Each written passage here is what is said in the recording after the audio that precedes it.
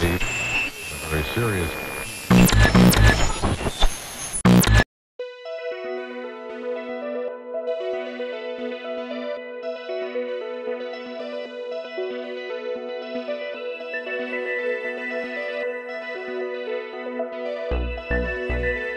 El día de hoy nos encontramos desde el Centro Cultural y Artístico, mejor conocido como el Foro Independencia, ubicado en el centro de Guadalajara.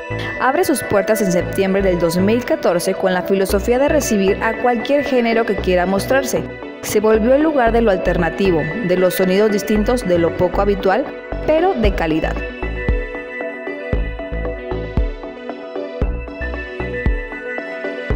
Con un espacio para 600 personas, ha recibido a más de 300 bandas de todo el mundo generando shows memorables. Además, sus paredes se vuelven galería para los artistas urbanos que quieren plasmar su sentir por medio del aerosol. El 18 de abril de este año fue víctima de la delincuencia, siendo saqueado, por lo cual el gremio artístico de la ciudad nos unimos a su causa, nos unimos por el independencia.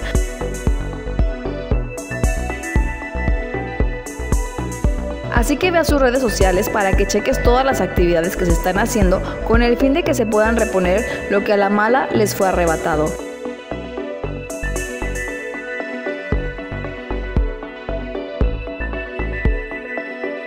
Checa la cartelera de conciertos que se están armando, así como las diferentes actividades culturales para que te sumes por el Independencia, una sede más del Sound and Sunrise.